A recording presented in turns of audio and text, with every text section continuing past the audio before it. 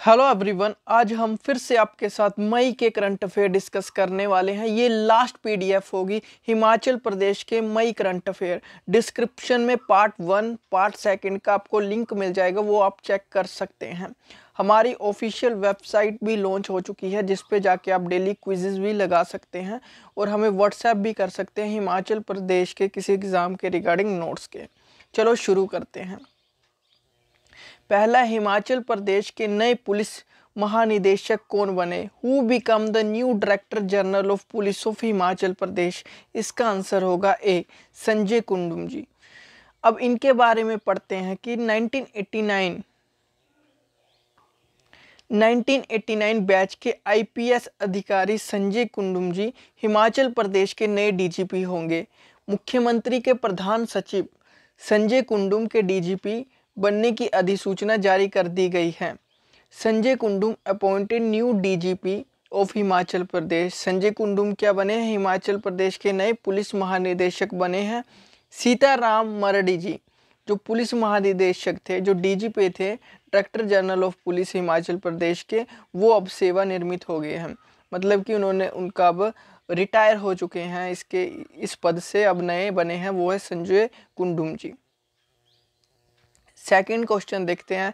हिमाचल प्रदेश के किस मंत्री को कोविड 19 के दौरान समाज सेवा में अनेक माध्यम से मानवता की सेवा में योगदान देने के लिए world book of record London से पुरस्कृत किया गया? कौन से? World book of record London से पुरस्कृत किया गया? इसका आंसर होगा, किया गया है वो है श्री सुरेश भारद्वाज, जो हिमाचल प्रदेश के शिक्षा मंत्री भी हैं।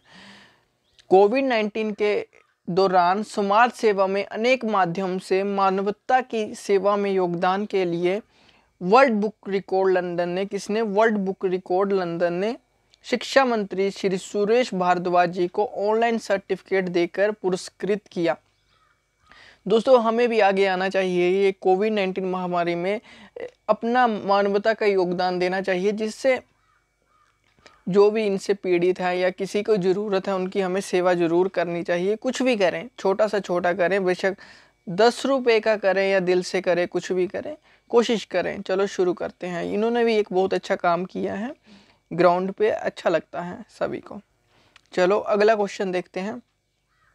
बेसहारा पशुओं के लिए पुनर्वास योजना प्रारंभिक चरण में गो सदनों गौशालाओं और गो अभ्यारण्य में रखी गई। प्रत्येक गाय के लिए कितने रुपए देने का फैसला किया गया सभी गाय, प्रत्येक गाय, एक गाय के लिए मतलब कि जैसे पाँच सौ गायें हैं एक गौशाला में तो पर गाय के लिए कितने रुपए रखे गए हैं? ठीक है। पर गाय के लिए पाँच सौ रुपये रखे गए हैं। एग्ज़ाम्पल के तौर पर दस गाय हैं एक गौशाला में तो पर गाय के लिए पाँच सौ रुपये हुए तो टोटल गाय के लिए पर मंथ मिलेगा पाँच हज़ार। टेन गाय के लिए हो गया पाँच हज़ार। उसी तरह प्रत्येक गाय के लिए पाँच सौ रुपये रखे गए हैं। प्रारंभिक चरण में गौ सदनों गौशालाओं और गो अभ्यारण्य में रखी गई प्रत्येक गाय के लिए पाँच सौ रुपये देने का फैसला किया गया है। साथ ही पशुपालन विभाग को गायों की टैगिंग का कार्य शीघ्र पूरा करने को भी कहा गया जो गायों की टैगिंग भी होगी, ठीक है? इसके साथ साथ गायों को पाँच सौ रुपये भी दिया जाएगा। एक गौशाला में जो भी रखे गए पर गाय पे पाँच सौ रुपया भी दिया जाएगा। वेरी इंपॉर्टेंट क्वेश्चन है एच एस लेवल का क्वेश्चन है। किसी भी एग्ज़ाम में आ सकता है। हिमाचल प्रदेश के किस ज़िले में आयुष विश्वविद्यालय की स्थापना की जाएगी? इसका आंसर होगा, हिमाचल प्रदेश के चंबा ज़िले में आयुष विश्वविद्यालय की स्थापना की जाएगी। अब इसके बारे में डिस्कस करते हैं। जिला आयुर्वेदिक, चंबा में होम्योपैथी नेचुरोपैथी एवं भारतीय चिकित्सा पद्धतियों पर आधारित। आयुष विश्वविद्यालय की स्थापना की जाएगी तथा योग को विशेष प्रोत्साहन दिया जाएगा। स्वास्थ्य रिजोर्ट, योग पंचकर्मा एवं आयुर्वेदिक केंद्रों के विकास द्वारा चिकित्सा पर्यटन को बढ़ावा दिया जाएगा।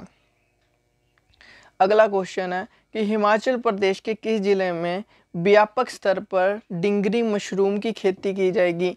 In which district of Himachal Pradesh will dhingri mushroom will be cultivated extensively इसका आंसर होगा।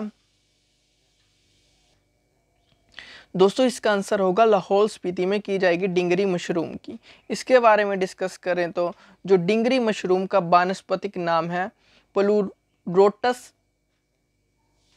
क्या नाम है इसका? पलू रोटस और ओस्ट्रीटस इसका नाम है। शायद मैं प्रोनाउंस सही नहीं कर रहा हूँ फिर से कर देता हूँ एक बार। पल्लू रोटस ओस्ट्रीटस।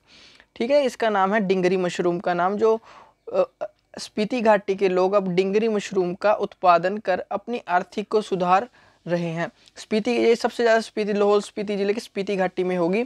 स्पीति घाटी में डिंगरी मशरूम मशरूम का भारी मात्रा में उत्पादन हो रहा है। डिंगरी मशरूम में प्रोटीन होता है। इसके साथ ही calcium, potassium, sodium, phosphorus, iron आदि होते हैं। इसके सेवन से कैंसर प्रतिरोधी क्षमता, खून में कोलेस्ट्रॉल कम करने की क्षमता, ब्लड शुगर कम करने की क्षमता होती है। ऐसे में जहाँ इस डिंगरी मशरूम की फ़सल से लोगों की आय बढ़ेगी, उसके साथ ही स्वास्थ्य के लिए भी ये बेहतर भोजन उपलब्ध होगा। जबकि इसकी जैव परिवर्तन क्षमता अधिक होती है। और जो इन डिंगरी मशरूम के लिए सबसे ज़्यादा गवर्नमेंट ने ये कहा कि आप अपने एरिया में, जैसे काजा एरिया पड़ता है, वहाँ पे आप होटलों में ये डिंगरी मशरूम बेच सकते हैं। क्योंकि पर्यटन वहाँ पे बहुत ज़्यादा आने की संभावना है इस बार। हिमाचल प्रदेश के कई जगह विशिष्ट नागरिक सुविधा केंद्र स्थापित किया जाएगा? ठीक है, कहाँ किया जाएगा? इसका आंसर है ए, शिमला धर्मशाला मंडी और हमीरपुर में किया जाएगा। दोस्तों, कहाँ कहाँ किया जाएगा? वो है शिमला धर्मशाला मंडी और हमीरपुर। इसका ए आंसर होगा। ठीक है दोस्तों इंपॉर्टेंट प्रश्न है। शिमला धर्मशाला मंडी और हमीरपुर। नेक्स्ट क्वेश्चन है, सजा नहीं, बचाव है क्वारंटीन पुस्तक के लेखक कौन है? सजा नहीं, बचाव है, क्वारंटीन, इसके इस पुस्तक के लेखक कौन है? इसका आंसर हो गए डॉक्टर ओम प्रकाश भूरेटा जी। सजा नहीं, बचाव है, क्वारंटीन पुस्तक के लेखक हैं। इसको अभी शिमला में जो हिमाचल प्रदेश के राज्यपाल है, उन्होंने इस पुस्तक के बारे में बताया है और सार्वजनिक किया है। इसका नाम है सजा नहीं बचाव है क्वारंटीन जिसका, जिसने लिखी है, वो है डॉक्टर ओम प्रकाश बोरेटा जी ने ये पुस्तक लिखी हुई है। विश्व टीकाकरण सप्ताह कब मनाया जाता है? When is the world vaccination week celebrated world vaccination day की बात कर रहा हूँ, वो है लास्ट वीक ऑफ़ अप्रैल ए में मनाया जाता है लास्ट वीक ऑफ़ अप्रैल जो इंडिया ऑब्ज़र्व करते हैं national vaccination day every year on March 16 the day is also known as national ठीक है?